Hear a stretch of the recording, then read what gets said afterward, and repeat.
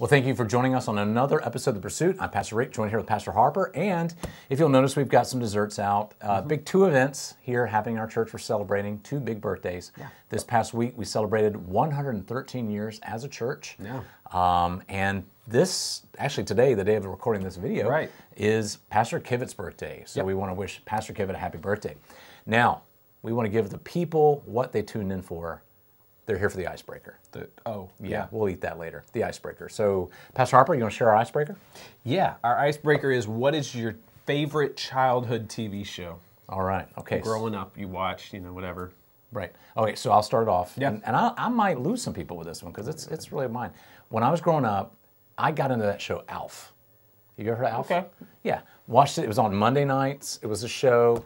Uh, I was a little kid at the time. I think one Christmas, my folks got me the Alf, like, you know, stuffed animal. Yeah. Hmm. It was a cool thing. I liked Alf. It was funny. I think I learned a lot of my wisecracks from that orange alien.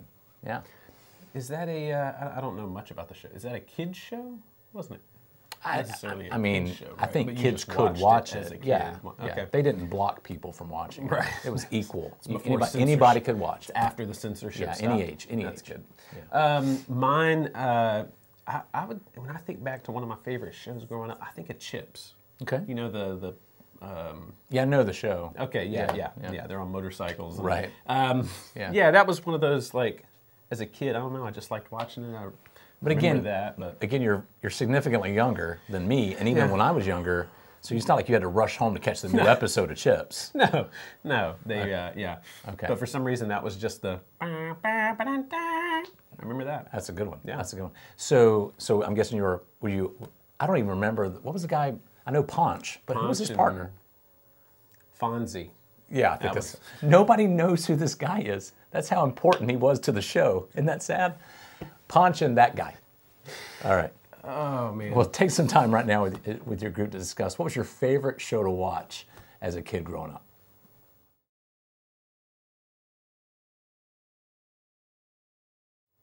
All right, so this week, as we continue in the Sermon on the Mount series, Pastor Kivett got to the section talking about divorce. And so in here, Jesus is talking about the importance of the marriage and that relationship. And so as we talk about this, we want to kind of just talk a little more on a practical level of what divorce does and how that causes um, and impacts you know things long down the road to come. And so really looking at that long-term effect of divorce. How does how does divorce affect the family long term? Take some time right now and talk about this with your group.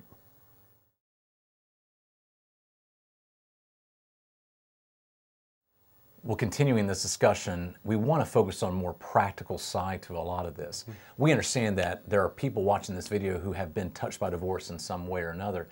And we want to make sure we, we discuss this because we've talked about it a little bit before we start recording Yeah. that for a number of years, uh, divorce was seen as the scarlet letter.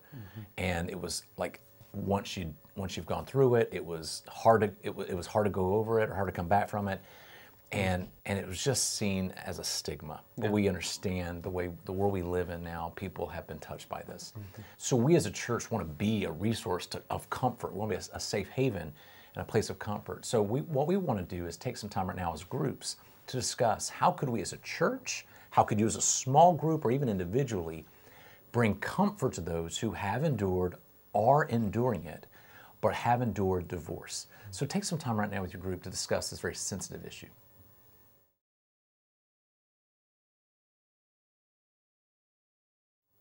All right, finally, as we talk about this, we want to kind of talk about some of the preventative measures or some of the things that kind of lead up to divorce. And so, really, the question we want to ask is uh, kind of what practical help is there uh, that can help marriages that are struggling? And, you know, we all can be uh, honest about this. No marriage is perfect, it takes work, it's something that isn't uh, as it's always portrayed uh, on social media or in movies or shows or anything like that.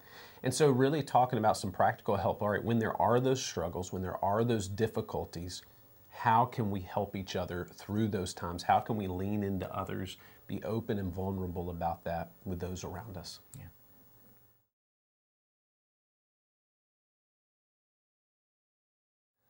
Well, once again, thank you for joining us on another episode of The Pursuit. As always, you can watch previous episodes of The Pursuit by clicking the link provided on the screen. Yeah, go back and catch up if you missed any sermon videos in our series. And you can click the button to subscribe so you don't miss the videos as soon as we put them out. Thanks for joining us. We'll see you next week.